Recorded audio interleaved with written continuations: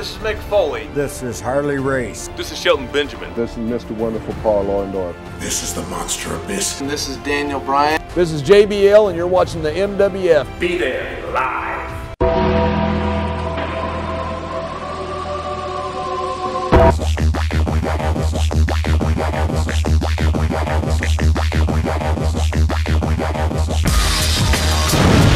Wrestling fans, welcome to another installment of the Boston Wrestling Sports Special Wrestling Insider Podcast Edition, where we discuss the latest news, history, and memories on the greatest form of action and excitement across all forms of sports and entertainment when it's done right. I'm Dan Marotti, happy to be joined by Mr. USA 2000, I mean, yeah, 2006 WWE Hall of Famer Tony Atlas. Tony. You're almost having a Joe Biden moment over there. You forgot what century it was for a second. Th- that ain't new for me. That you know what? You're very right. You're very right. You know what it. you know what Ernie the Cat Ladd will, uh, say to Tony Atlas? I'm sure you're going to tell us. What did what did Ernie Ladd used to say? He said that Tony Atlas, if, if a bird had his brain, he would fly backwards. Hey, if, if, if, his, if his IQ was one point less, he'd be a banana. Well, I don't think Ernie was too far off, but that's a different story for a different time. Tony, Ernie Ladd, Ernie Ladd, not, be- be- before we get off of all right, all right. Ernie Ladd was loved, respected by every wrestler, football player that ever met him. Ernie was a big man, great big man, had gigantic hands, and and uh, Ernie would tell you, "I'm the best, I'm the best," and in in in many ways, he worked because Ernie was a guy that did his job. Let's say, for example, I'm wrestling Ernie Ladd. Yeah. Even though he's six foot nine, six ten, 310 pounds, uh, that at the time I was only six two and 250. Ernie, if the promoter say, Ernie, we need to get this kid over. Ernie would do everything in his power to get me over. See, Ernie was a businessman. Yeah. See, see, Ernie was, didn't have an ego. He wasn't in it for himself. Ernie would make you look good. And then if they say, Ernie, we want you over, Ernie would make you look bad. But whatever, he never had any problem. In fact, Ernie Ladd was the guy that got me into the WWF back with Vince Sr. The Vince Sr. Because Ernie, every time we went to New York, he talked to Vince about me. hmm And uh, Vince McMahon, I remember Vince McMahon Sr., my first day, my first day to, to meet him, he said, A lot of people are going to take responsibility for you being here, Tony. He said, But I want you to know that Ernie Ladd uh, is the one that got you here. And sadly, I was in Charlotte uh, back in the 90s, I believe it was, but they used to have the uh, the Fan Fest. hmm And Ernie was he had cancer, and he was down for cancer. He became a, a minister. He gave his life to God. And me and him, we sat and and and, and talked uh, at breakfast at a hotel. And he could barely walk at the time. Was in a wheelchair, and uh, he asked me to give him some food. I got him some uh, stuff. He couldn't eat certain stuff, you know. And uh, he looked at me. He said, uh, "What happened with you and them people?" And so I told him the story about, uh, uh, you know, me and and, and uh, uh, Vince. And uh, he said, "Well, I talked to him for you." And then about a year later, that's when I got called. A couple of years later, that's when I got called to do that thing in 1997 where they were going to do something with The Rock. Oh wow. Well, Ernie But continued to look Ernie- after you. Right. He they had the Vince Senior and Junior had that type of respect for Ernie Ladd. And another story that, that I, I never forgot, uh, Bill Watts. He told me he was the most radical person you ever want to meet. The most what? Radical, radical. Radical? Yeah, but, Oh, but it, okay. it, it was his way of saying racist. oh, all right. Well, You see, a lot of them guys, and you hear me say this before, a lot of the wrestlers was member of the KKK. See, the KKK is looked down upon now, mhm.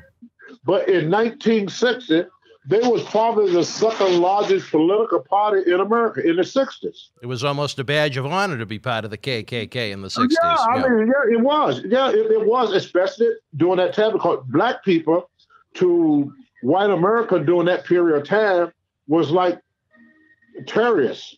yeah. or, or, or you know, like they're not one of us. You, you know, if, so you know this was all right at the beginning.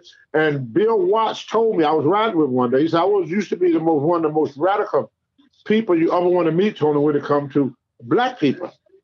And I, you know, I, I, I said, well, I didn't get mad at Bill. I felt good that he's telling me this. You know, oh my God, thank you. Bill was honest about his racism. Yeah, yeah, yeah. you know, and that's how I wrestled. That's how we got along. We didn't. uh we didn't have to agree with your uh, opinion or, or, or your belief, mm-hmm. but we have to respect it. Mm-hmm. So, uh, uh, so he was telling me this, and he said, if it wasn't for Ernie Ladd, Ernie Ladd, he said, I probably would still be the same. Ernie opened his eyes to the world. Yeah, and Bill was the one that told me about Dustin, that Dustin was racist. I never believed it because Dustin was always cool with me. You know, mm-hmm. he never but but but but he told me many times, he said, Dustin, you know, the Mulligan, Dustin, Ric Flair, all these guys, that Paul Jones, that it was all, you know. Uh, in fact, one of the guys admitted it to me. He told me the names of people. And Murdoch told me, he said, Tony, you don't have to worry about me because you know my beliefs. You know how I feel. He said, but it's the guys that you have to worry about, the guy that, that sleep in the same room with you, eat, you know, eat out the same plate, and probably screw the same bra that you screw, that attend more clans meetings than I do. In other words, Murdoch was telling me I'm not the only one, kid. So it was almost like it was a KKKK. It was the the kayfabe Ku Klux Klan. Yeah, that's what see, you needed but, to worry about. Yeah, but and I yeah. asked George Two Ton Harris one time. What did George Harris say? Did, this is what he said. Right. He said to get him out of speeding tickets. What got him out of speeding tickets?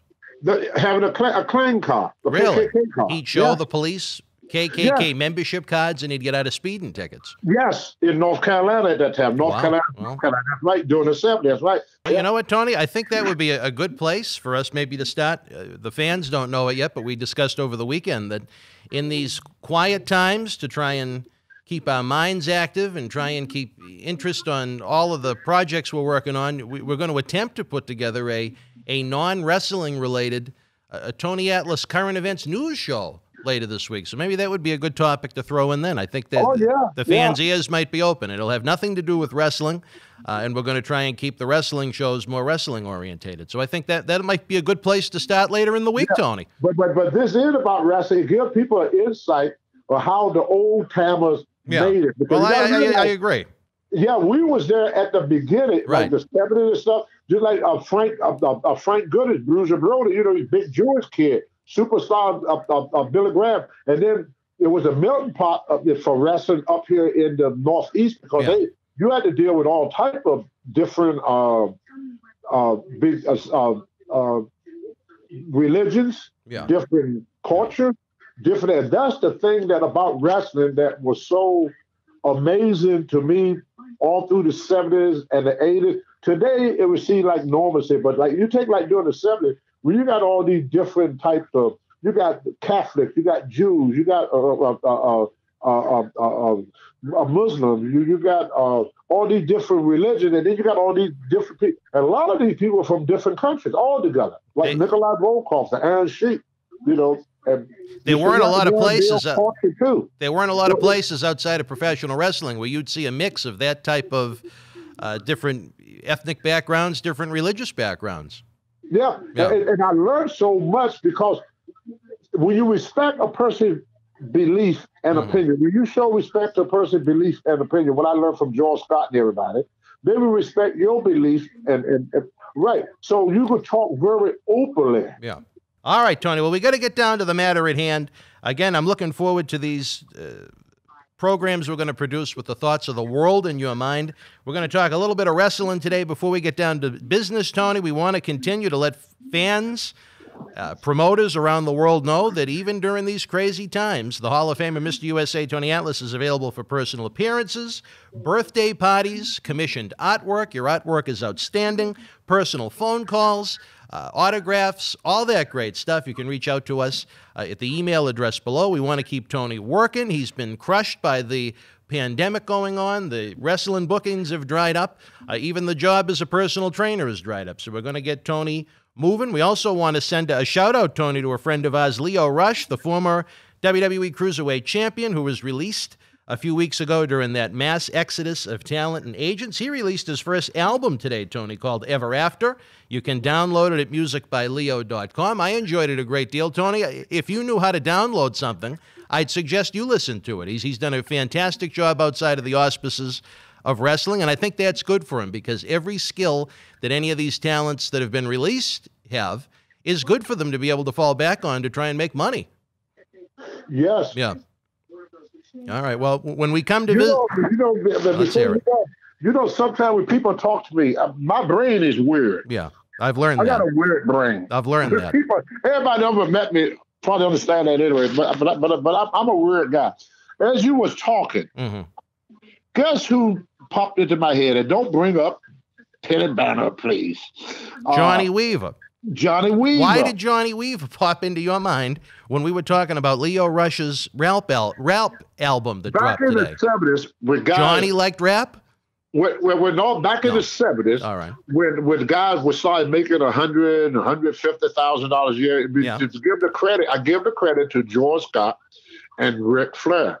If Johnny Valentine set the territory on fire, but right at the, the right when the territory was getting ready to pop, you know, right when everything was getting ready to break loose, uh, Johnny Valentine, unfortunately, was in a, a plane accident Right. uh, in Wilmington, uh, North Carolina.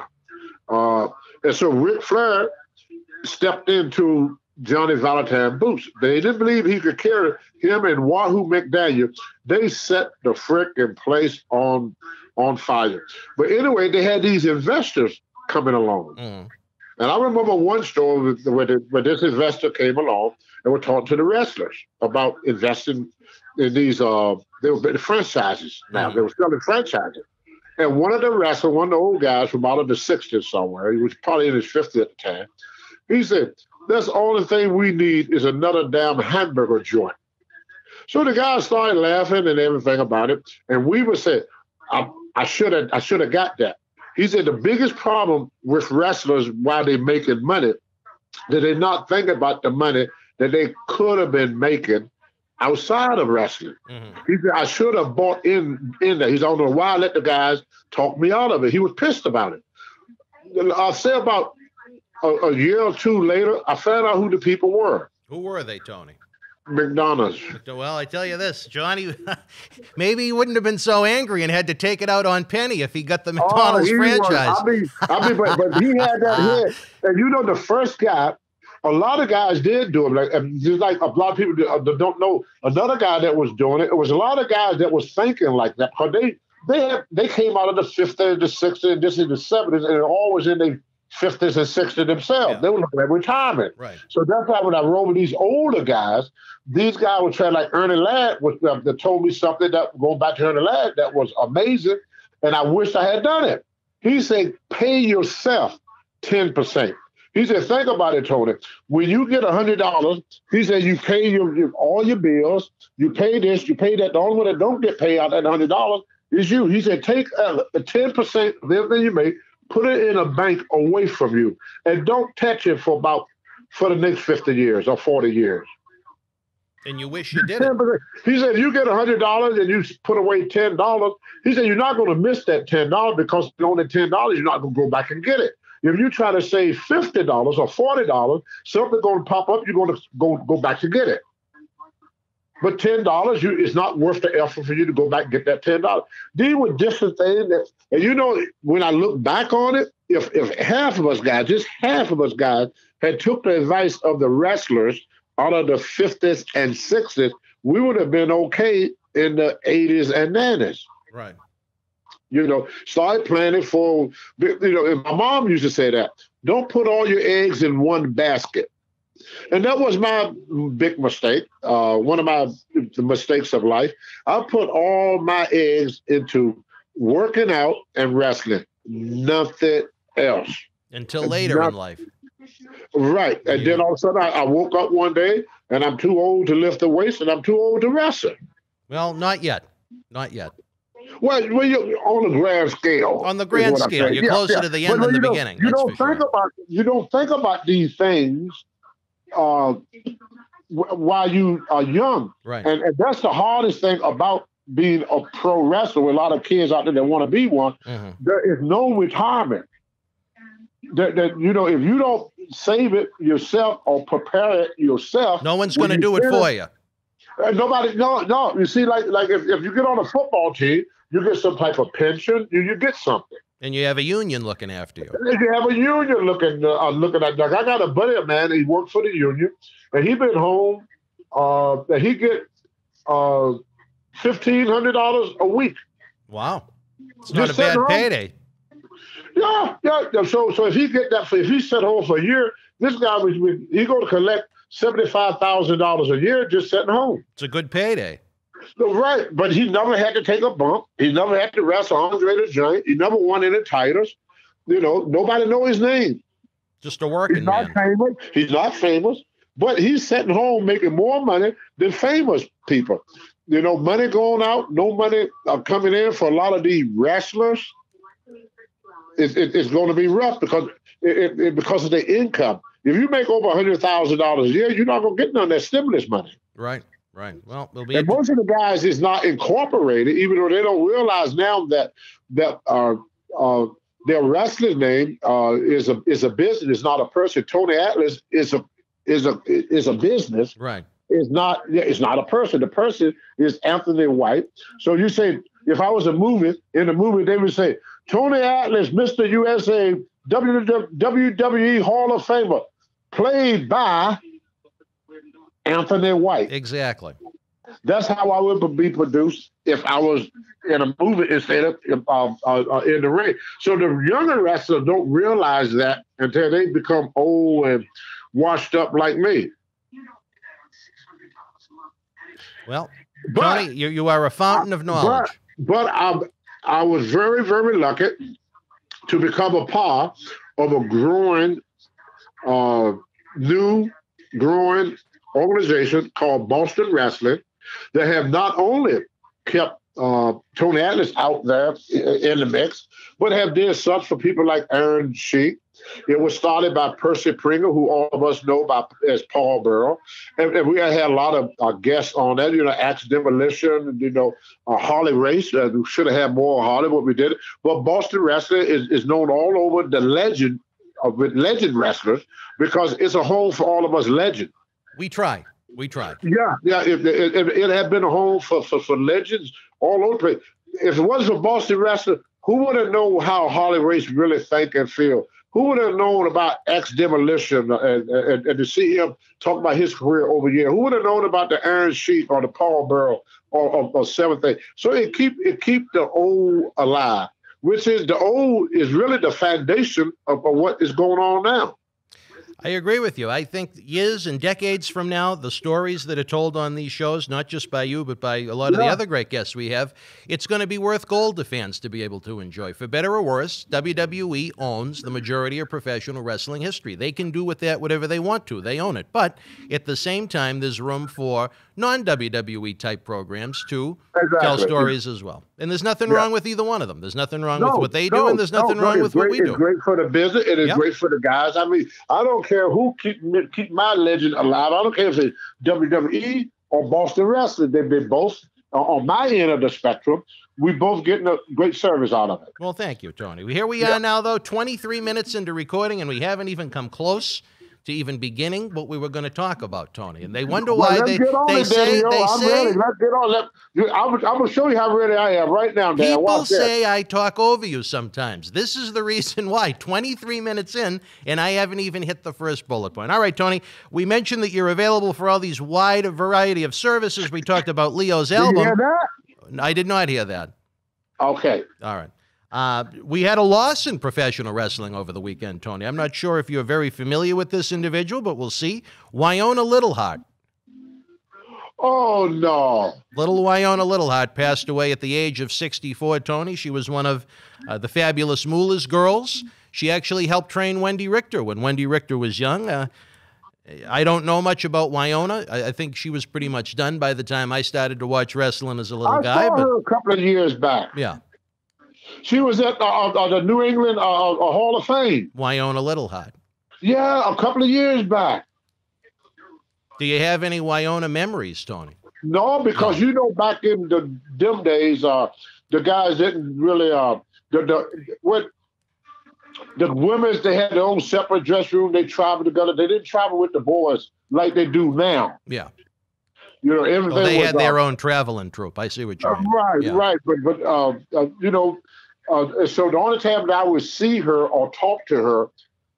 In fact, I didn't talk to her. Uh, The only time I talked to Naomi, believe it or not, was a couple of years back uh, at the New England Hall of Fame in, in Rhode Island, uh, in Warwick, Rhode Island. hmm That was, that was the only time I ever had a conversation with her because, you know, you couldn't be around the girls wrestlers back Right. then. Well, obviously, she was a Indian wrestler with that gimmick. She had almost like a Chief Jay Strongbow or Wahoo McDaniel. Uh, do, you, Yep. do you have any memories of her actual wrestling? I, I don't know much about her. Yeah, I have seen her. I saw a couple of her matches back in the, the, the 70s and, and, and 80s, Yeah. late 70s and, and 80s. She was a good wrestler. She, back in them days, they wouldn't put you in the ring unless you could wrestle. Moolah really worked them over if- good if- if before you they went on the road. Yeah. No, you would. No, you you would. Uh, they would only thing they would put you into probably a battle royal, Yeah. Or they put you in the to take bumps on, in a squash match or something. Right. But no, no, you wouldn't be on the rope. They're not going to pay you if you can't do your job. All right. Wrestling was kind of like it was kind of like construction business. They're not going to hire you to paint the house if you can't paint. Well, to the You're just not going to get the job. You know, it was a very, very hard business to get into. They didn't want people into it, and the reason they didn't want people into it, you got to stop and think. You can hear a lot of stories about young kids, like Ronnie Piper told me a story about Freddie Blassie putting uh, uh, toilet paper down in his uh, bagpipes so he wouldn't blow. Mhm. And, and old timers would do stuff like Mr. Fuji to keep you out of it, so they could keep their job. they wanted their spot. Right, and a, and a young kid was was was definitely a big big threat to them. Why do you think Chief Day Strong was the largest wrestling, one of the largest wrestling companies in the world? You got this old man bouncing around the ring as an Indian, and got all these young, strong, uh, uh, agile Indians that they wasn't even using. That's a good point. Yeah, because because uh, Chief Jay Strongbow cut the throat of any Indian. That the one of the best Indian wrestlers I've, I've ever seen was Wahoo McDaniel. I think And I Wa- say Wahoo was a lot more believer, believable than Chief Jay Yeah, and I would say number two would be Tatanka. But both of them, to me, was a better performer and wrestler than Chief Jay Strongbow. I agree with you. And then Mr. Fuji, I, I remember I, I, I was down in 1988. I remember the year because I was there with Mario Savoldi.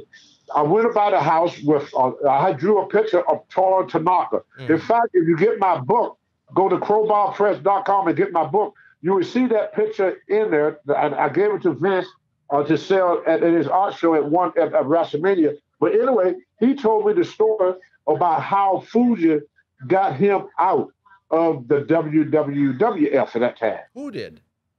Um, uh, Toru Tanaka. Oh, Toru Tanaka told you the story. Okay. Yeah.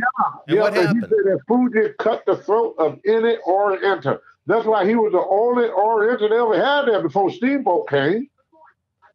And the only reason Steamboat got in there because uh, cause, cause Fuji retired from the ring. He was manager. He was, yeah, he was transitioning into that managerial role with Don Muraco. Right, but if he was in the ring, Ricky Steamboat would have never saw New York. Never. Well, I tell That's you, Tony. got, and, and, and that's why I tell my story. The only people that I had problem with was black people because they were the only people role uh, uh, position I could take, and only uh, uh, and, and and I was a threat to their position. Yeah.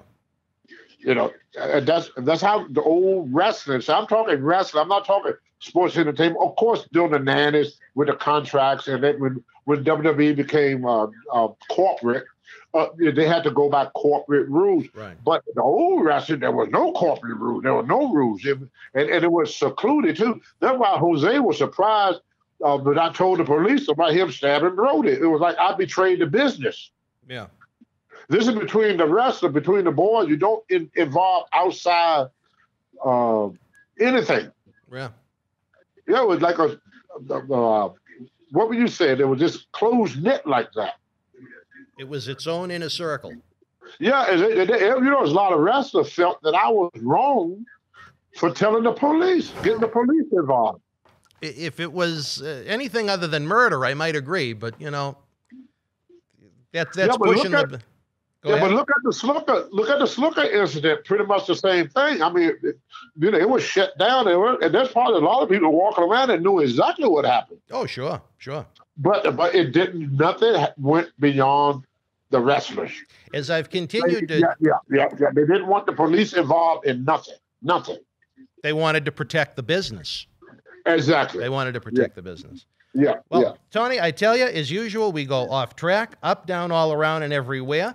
I think we covered so much content here. Why not turn it into its own episode so the fans get a bonus this week? So, what we'll do is, Tony, we're going to wrap up this episode. Then you and I are going to tape a follow up. All right, wrestling fans, we didn't expect this one to go all over the place, but then again, we never do. For my sidekick, Mr. USA, Tony Atlas, I'm Dan Marotti. Tune in tomorrow for another brand new installment of Wrestling Inside is the podcast with Tony Atlas. And then later this week, we're going to bring you a show that has nothing to do with pro wrestling. It's going to be Tony's look at uh, current events, I guess is the best way to put it. We don't even have a name for it yet. Uh, but until we, until we speak again, folks, stay well, stay healthy. We'll talk to you soon. Good night.